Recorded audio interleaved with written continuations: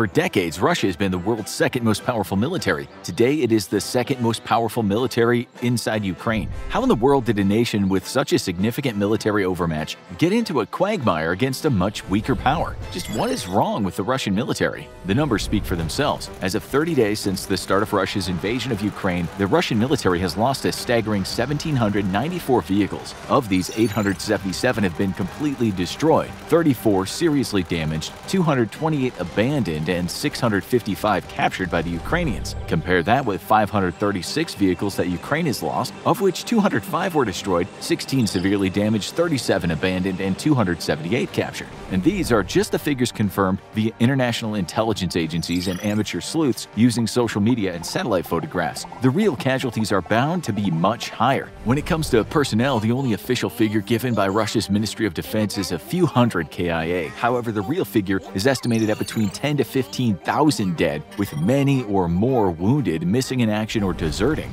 U.S. intelligence estimates that Russia is suffering an incomprehensible 1,000 casualties a day. Simply put, this makes victory in Ukraine impossible for Russia. So, what in the world is going on with an army every Western analyst had touted as the second best in the world and a near peer competitor to the United States? The problems are numerous, but like all great tragedies, start out with the smallest things. Maintenance is something nobody likes doing. It's a downright pain for all involved, but preventative maintenance is vital for keeping the complex machinery of war working, and the United States military places a premium on it. There are rules, regulations, and all sorts of detailed checklists for every everything from maintaining proper tire pressure in a vehicle to oil changes and probably even how to adjust your seat properly. But in Ukraine, Russia has shown with startling clarity what happens when you ignore even the most basic of maintenance. One of the most common images of the war is abandoned Russian vehicles littering the Ukrainian countryside by the hundreds. And while there's numerous reasons for this that we'll get into shortly, by far the dumbest is a simple failure by the Russians to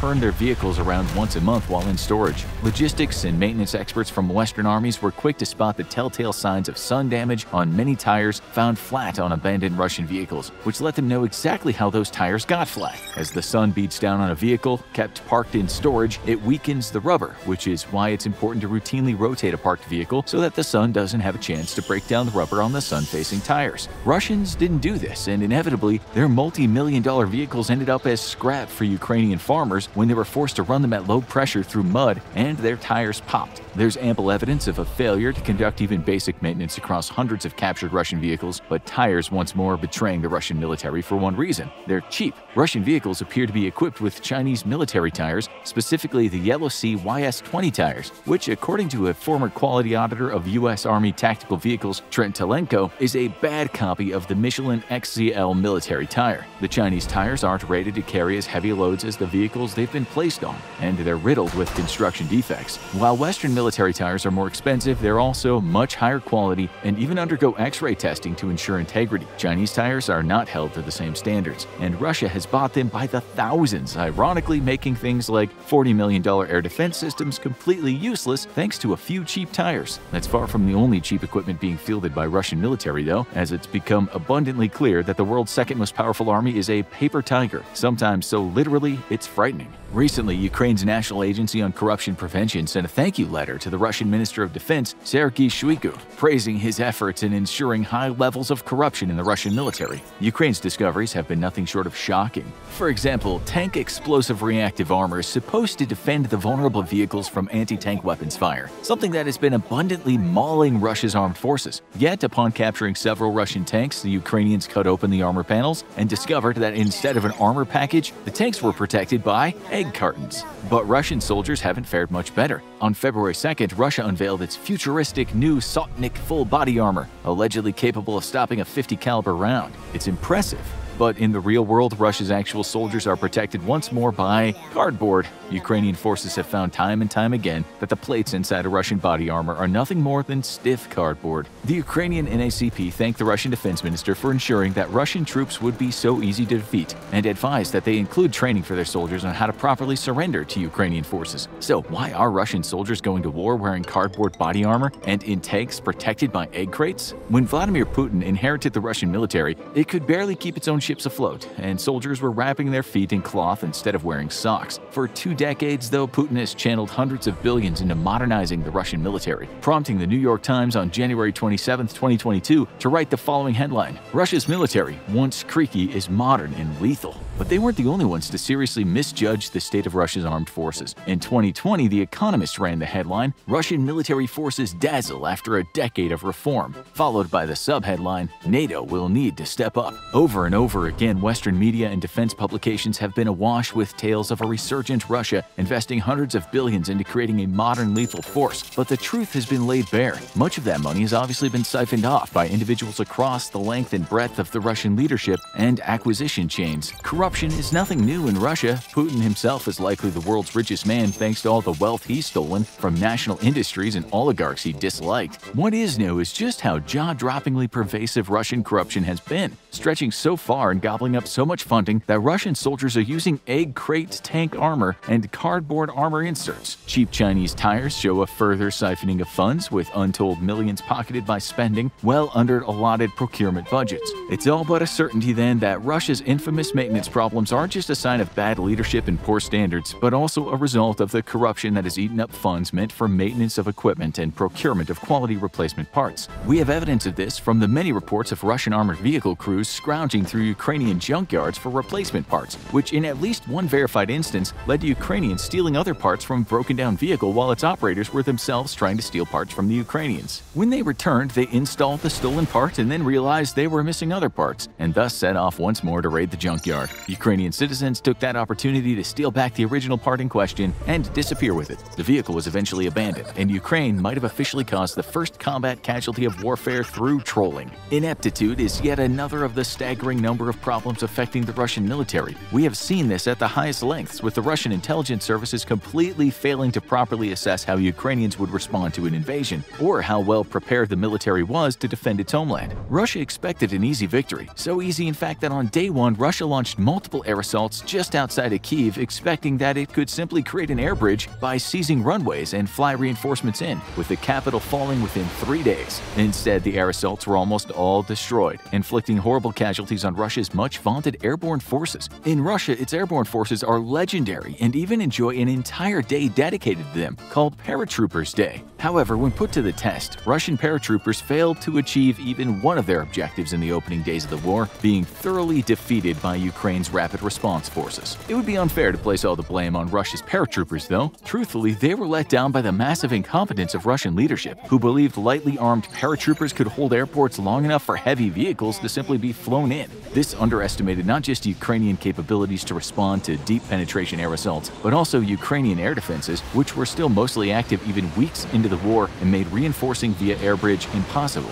The failure to shut down Ukraine's air defenses is another casualty of Russian incompetence, though this time it stretches all the way to the top. When the United States led a coalition in 1991 to end Iraq's invasion of Kuwait, it shut down Iraq's air defenses within 48 hours through surgical and overwhelming strikes, while fighter aircraft swept from the skies any fighters foolish enough to resist. By comparison, Putin dedicated only a small portion of the vastly superior in number Russian Air Force to try to shoot down Ukraine's air defenses. What should have taken Russia a few days to accomplish has yet to materialize, and incredibly, a month into the fighting, Ukrainian Air Force is still largely intact and flying up to five sorties a day. It's believed that Putin did not want to dedicate the number of aircraft necessary to the task, as it would signal that his special military operation was, in fact, what it really is a full scale war. To maintain domestic support, Putin must keep up the facade that Russian forces are still engaged in only light fighting, and thanks to his massive control over Russian media, he's still somewhat succeeding at maintaining his narrative. But this has allowed Ukraine's air defenses to continue to take a heavy toll on the Russian aircraft, with 39 planes and 40 helicopters lost in just the first two weeks alone. The total number today after a month of fighting is unknown, but believed to be well over 100.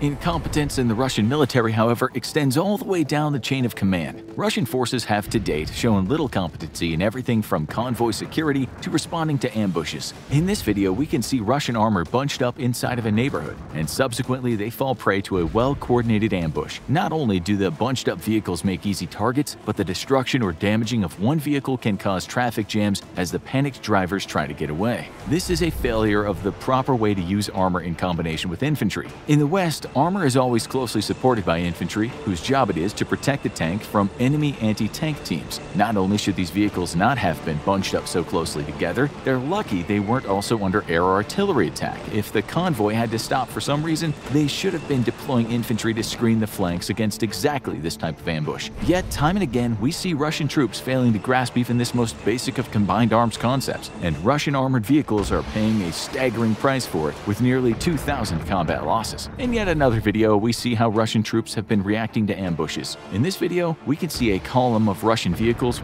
wander into Ukrainian ambush, with a vehicle taken out by an anti-tank team. The US military teaches that the best way to survive an ambush is to assault it by turning armored vehicles into the ambush so their thicker frontal plates are presented to the enemy, and deploying infantry to fire on and suppress the enemy forces outside of the kill zone can then launch an assault against the ambush's flanks. Instead, the Russian forces scatter in panic, with only two of the tanks turning to the ambush and returning fire. Forces outside of the ambush simply come to a dead stop, and no Russian infantry dismounts to assault the ambush and relieve pressure on their buddies in the kill zone. Tactical incompetence extends to pretty much every aspect of the Russian convoy security, though, as their convoys have been observed coming to full stops at intersections, an absolute no-no for any convoy. Then, when they eventually begin moving again, instead of deploying screening elements on either side of the intersection, the convoy simply pulls ahead in single file, leaving themselves wide open to enemy attack. Perhaps the most baffling of all, though, is the destruction of air defense equipment via airstrike within parked convoys, with the operators not bothering to turn on their air defense radars for hours while the convoy sat at a dead standstill. Russian troops are proving themselves to be poorly trained to the point of gross incompetence, but we couldn't mention convoys without explaining one of Russia's greatest failures to date. By now, everyone has seen images of an incredible 40 kilometer convoy of armored vehicles, fuel trucks, and artillery all stuck on its way to Kiev, with similar scenes repeating themselves at a smaller scale throughout Ukraine. Just what in the world is going on with Russia's convoys? Incredibly, the answer is simple. They're out of gas. Even more incredibly, they still haven't solved the problem after three weeks. Initially, Russia's forces went into Ukraine with approximately three to five days of supplies and relied on their logistics fleets to keep them resupplied past that. The only problem is that Russia doesn't have enough trucks or logistics personnel to properly resupply its armed forces. Instead, the troops rely on railroads to haul supplies to the front, a task helped by Russia's very impressive rail logistics corps capable of building new railway, maintaining rails, and repairing them. The problem is Ukraine keeps blowing up those railways, and Russian troops can't seem to stop them. At this point, any hope of supplying forces inside of Ukraine via the shared railways between the two nations are a pipe dream.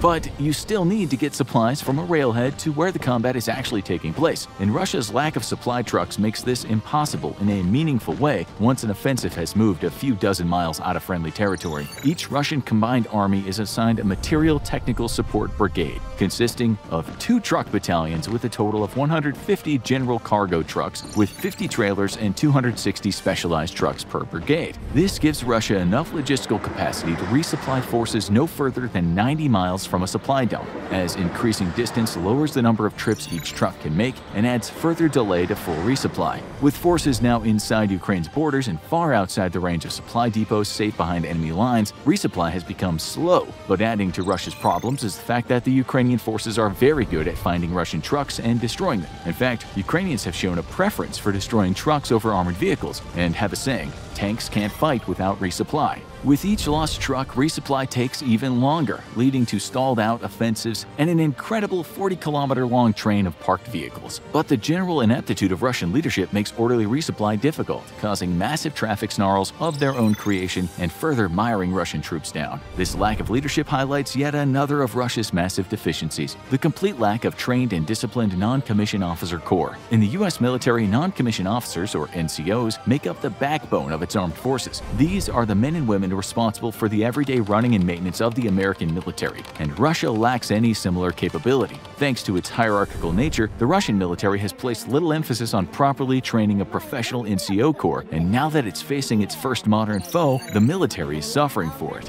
While America places an emphasis on empowering its NCOs to make on the fly decisions and seize the initiative, the Russian military has no such leadership cadre, which inevitably leads to a need for senior officers to lead from the front, but senior officers are few in number and simply can't be as omnipresent as a wide cadre of NCOs can be, and even more importantly, are far too valuable to risk dying on the front lines, which is exactly what's been happening to Russia's majors, colonels, and even generals. As of this writing, seven senior Russian generals are believed to have been killed in one month. By comparison, the United States lost two generals in 20 years of fighting the global war on terror. One was killed in the September 11th attack at the Pentagon, and the other was killed on August 5, 2014, during an insider attack in Afghanistan. Zero of America's general officers have been killed on the front lines. Russian generals claim to simply lead from the front and take inspiration from Prince Peter Ivanovich Bagration, who was fatally wounded at the Battle of Borodino in 1812, or, or Generalissimo Alexander Suvorov, who always fought on the most exposed part of the front. However, the truth is that the Russian generals are having to fight at the front because they don't trust their subordinates to follow orders, and because of the complete breakdown of their communication abilities. Communications, though, is yet another another of Russia's mind-boggling failures in its execution of this invasion. Once more, likely due to corruption, the world has learned that a significant amount of Russia's armed forces are operating on civilian-quality unsecured radios. Radio broadcasts between Russian units have been recorded by civilian observers using basic equipment, with some civilians taking the opportunities to simply jam Russian frequencies or troll them with the Ukrainian national anthem, the popular American Yankee Doodle song, or other random audio.